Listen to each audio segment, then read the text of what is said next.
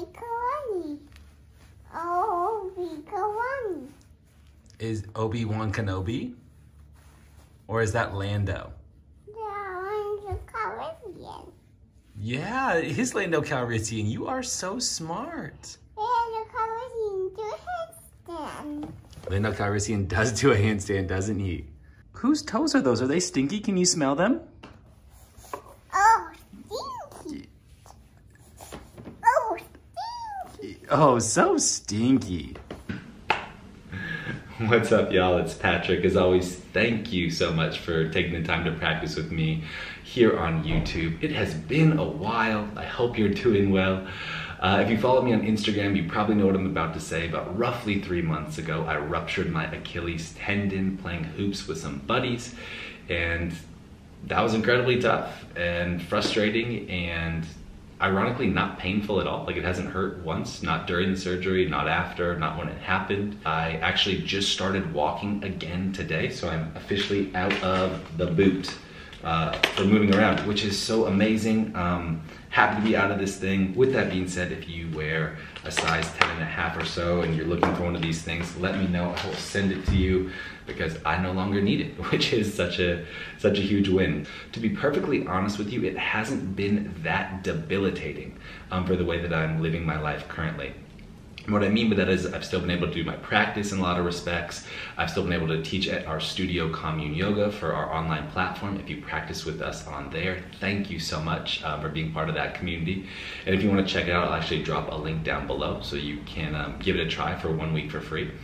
Um, and, I, and I've been able to obviously play with my daughter, been able to, you know, be part of my relationship with Carling and all these other things. So in terms of my day-to-day life, while I haven't been able to walk and just do like normal human being things, um, and I've been crawling around a lot and there's tons of challenges with that, like how to get in and out of the shower. L- life has been okay. And if I made a number of videos kind of around the injury, I felt like I would have been adding drama to something that to be honest with you, I processed the the emotional and physical struggle of it pretty quickly um, because I, I immediately started focusing uh, straight away on what I could do instead of what I couldn't do. If you have an Achilles tendon injury or a rupture, the number one thing that you need to do after surgery, if that's what you choose to do, is let it heal. And so you don't want to stretch or stress the tendon at all um, because it needs to you know kind of bond back together.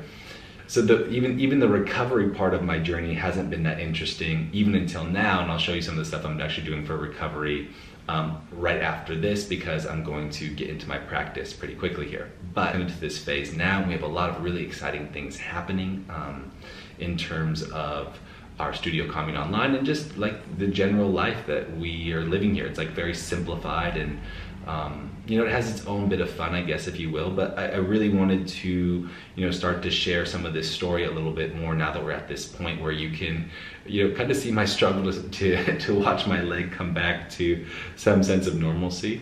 And in addition to that, I will be releasing classes again pretty soon. Uh, so I'm excited about sharing that with y'all again. Uh, so, with all that being said, let's practice.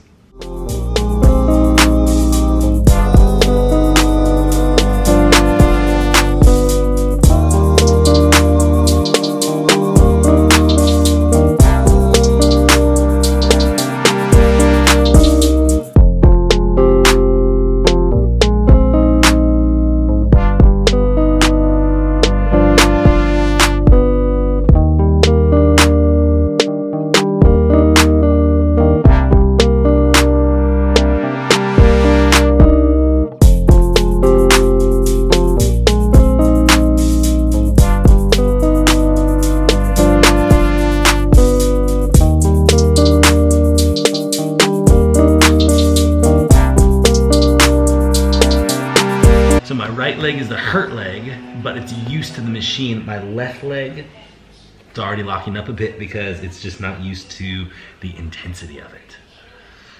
Round two. That's cool. Daddy robot. That's cool. Daddy, that's cool. A cool robot. A cool robot. Wow. A cool giant robot. Oh, big. What's a robot say?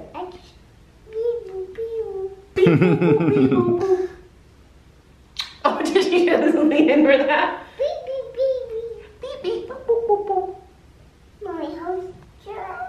I would love to, thank you. I squat. You squat, we're squatting. Squatting in robot.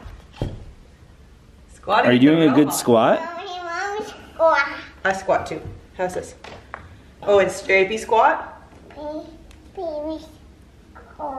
Yeah, stripey baby. Can we maybe if we put stripey baby against the wall, he can squat. No, Okay, you just carry him. You want to get some brekkie? everybody. Everybody doing a squat? Yeah. Yeah. No buttons. No buttons. You're right. Those are just for daddy buttons. Demo day. Demo day over here. Are you having a demo day?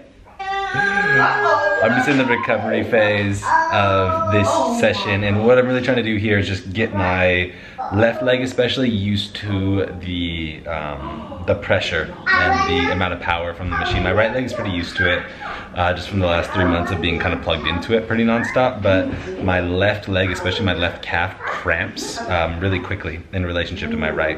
Uh, which is funny because my right leg is the injured leg, but I spend a lot of time doing this, and as you can see, Stripey Baby is hanging out with me right now. Um, I'm just kind of slowly getting used to um, holding this position and just the voltage of it, or whatever you want to say, I guess. But yeah, uh, finished recovery session of the day, and now we're off to do some more fun things.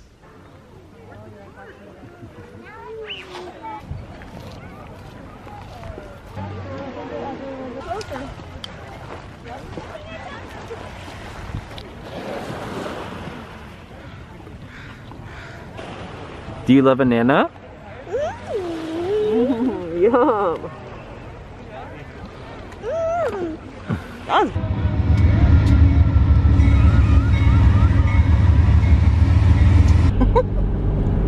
What? Look at you. I just wasn't ready. I wasn't what? prepared for the camera to be on. You know, I'm trying to, trying to think about my coffee. I wasn't got the sleeping bag on. I like that you have a transportable sleeping bag that you constantly wear. Yeah, yeah, yeah. It's the best purchase I've maybe ever made of item of clothing, most worn. You just it's basically a sleeping bag. You just zip it up. Nike coming through with my favorite winter jacket.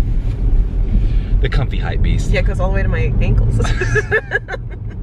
so that way you can still see my shoes. What else do you need? this is what we're dealing with. I'm Not gonna lie to y'all, it is a different day. A few days after the original recording, but we have some fun stuff on the schedule today. Starting off by going to teach. So we'll take you to Commune, check it out, see the setup. see the set. True or false? You became a country music fan. In, in general or at a certain time? So just like True, yeah, yes. So, so like what what was this train what was this transformation like? So you were, you know, Devin the dude, E40, blah blah blah, yay area. Not knocking the music, it's fun stuff. But But that was a previous incarnation a- of myself, which I still like.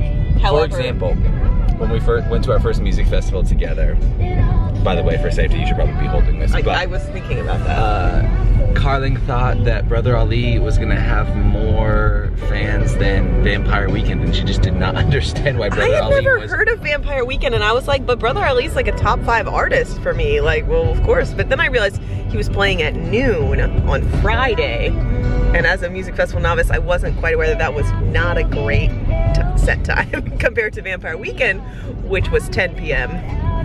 in the amphitheater at the Gorge. Lesson learned. Yeah. So, anyways, from so from that that type of rap music, mainly what you listened to growing up, too country. Country. Those country. I know. Now I hit like a, a. Peloton ride to a country playlist. That's how how deep I've gone. Um, what was the transition? When we lived in Portland, when we were vlogging a lot, you all saw us talk in the car all the time, and there was a country station that was the only radio station that had no commercials ever. And if you know Portland, it's a really small town. Nothing usually takes like more than five or seven minutes to get to, although I know it's traffic and all that. But nothing's very far, so I never wanted to throw on music. So we just listened to what was it, The Wolf? Yeah, I, well, I don't know if it was called the Wolf.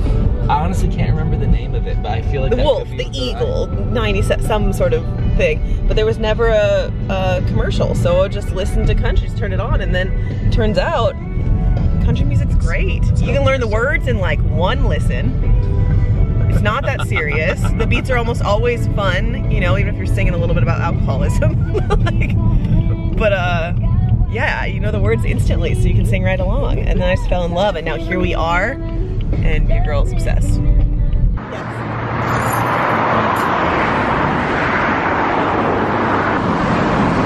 So, as you can see, we are in the studio. Carling is turning on the lights and making things happen. We are obviously in uh, full pandemic mode, if you will.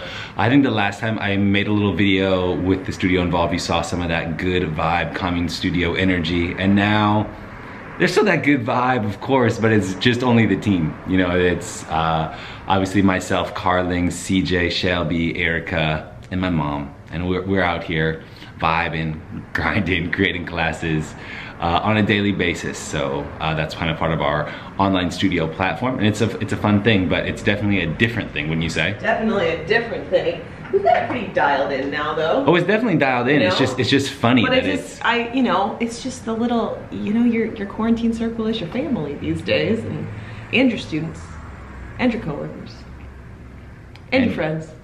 I was gonna go with that "You're Everywhere to Me" song, but I didn't know who What's sang your it. everywhere to me? Oh, I- like you're everywhere to me. I don't know. I feel like that was it. I feel like Yes, yeah, yeah, it's, lies. yeah. There you go. Yeah, yeah, yeah. Uh, it's Who uh, sings it? I feel like I want to say Michelle know. Branch, but Oh, it could be Michelle Branch. It's probably it's one that's like in uh, Ten Things I Hate About You or something like that. yeah, that's your kind of movie. You should know that. That's No, I know the song, but I don't know. I can tell you Who would you pick of that of those two movies? Which one would you pick? She's all that or Ten Things. Ten Things. Because of Heath. Mm, no, Julia Stiles because of Julia Stiles. Or because- and because of Andrew Keegan. Julia Stiles is a good, a great character, I- and Andrew Keegan has epic hair, and I think my crush on Andrew Keegan, Keegan growing up led me to you. Oh, man! Oh, you got it. You ready for this set?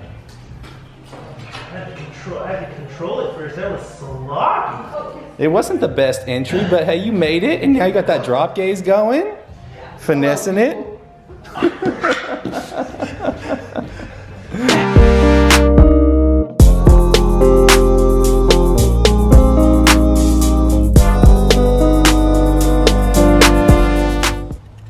Your hand is tangled in daddy's hairs, huh? You're here, Harvey. Got you lots of towels, just in case. I think we need all of them. oh my gosh, it's cold today. It's not even cold at all. It is. It's pretty cold. It's fine.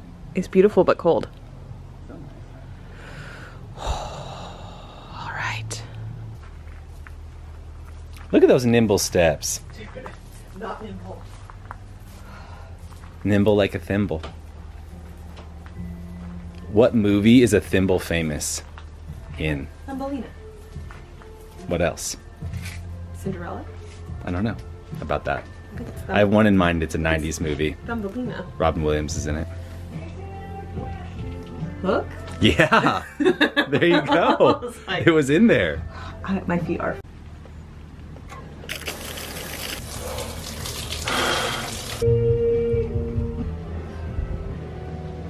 Let's see, jump in that cold shower. I just did. I'm trying Let's to get back see. to neutral, and then I'll get cold again, and then I'll go back in the sauna. All work is easy work. Should we start you an OnlyFans? On that note, we'll see you next time.